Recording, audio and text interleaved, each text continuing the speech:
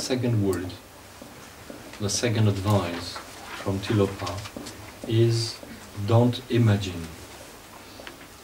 In the same sense that don't recall was about don't bug your mind with what is past.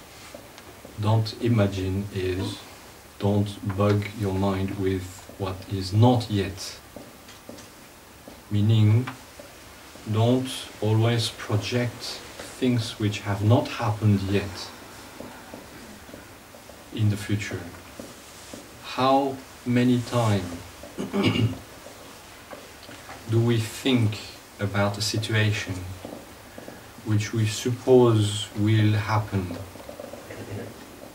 We think about it thousands of times. And eventually that very situation either will never happen, never take place, or will take place in a completely different way that we have 1000 times projected it to be. So what is the meaning in it? What is the need in it? Except that it keeps our mind uselessly busy and does not allow us to concentrate on what is the most meaningful, the work on our mind, the pacification of our mind, and the present moment. It doesn't mean that we never plan anything in the future.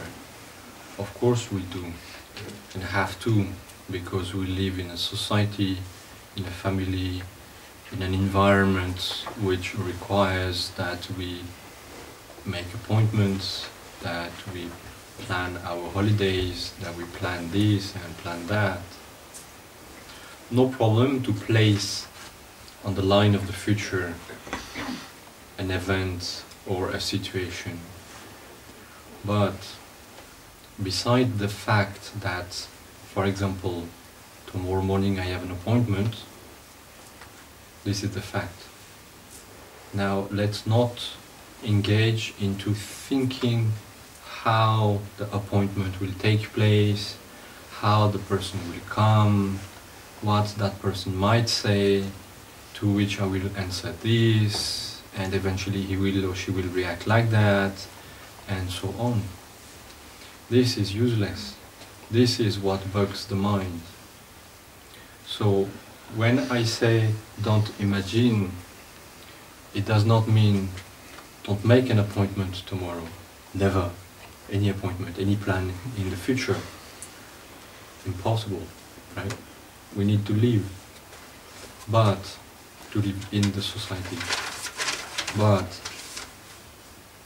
when you see that the mind starts full speed to engage in creating how the event will take place and what will be said and so on. Just de-engage from that. Just stop it. And this is possible. Don't ever tell me, I cannot stop my mind. Whose mind it is? Yours, no? So, it's like a car. Sometimes the car might have any kind of defect and the engine speeds up, what do you do? Either you take out the gear at all, or you switch off, and it stops. If we can do that with a machine, we can do that with our own mind. When you see, when you perceive that the thoughts start to speed up, de-engage. Take a deep breath and tell yourself, fact is, I have an appointment tomorrow, don't. We will see how it happens, what will happen. This will depend on how peaceful is my mind, on how happy is my mind, on how concentrated is my mind, not necessarily on how much I will imagine how it should be. What is the basic thing that we are looking for? it is happiness, right? If we want to reach happiness, we need to achieve peace in our mind. And the two, the two first advices from Tilopa are in order to establish peace. Do not recall,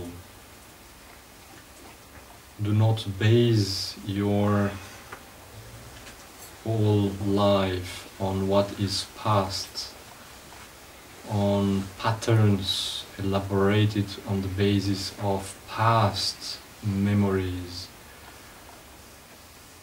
And do not imagine. Do not project yourself uselessly into the future do not create events which will never take place which will never take place the way you plan them if you eliminate already this constant recalling and constant projecting to the future, what happens? The mind becomes much more peaceful, much less bugged by all kind of thoughts. This is the way towards peace. It's not complicated at all. Peace is already there, already inside your own mind.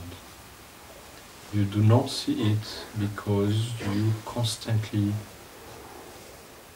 recall and give importance to past thoughts and events, memories, or and constantly project what might never happen in the future even.